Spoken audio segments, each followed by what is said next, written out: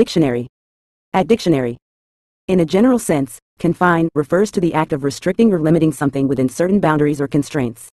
Whether applied to physical spaces, ideas, or activities, confining involves establishing borders or parameters that define the extent or scope of the subject. This term is often used to describe the containment of objects or concepts within specific limits. Confines can be tangible, like physical boundaries or spaces, or abstract, such as the limits placed on a discussion or the range of possibilities within a particular context.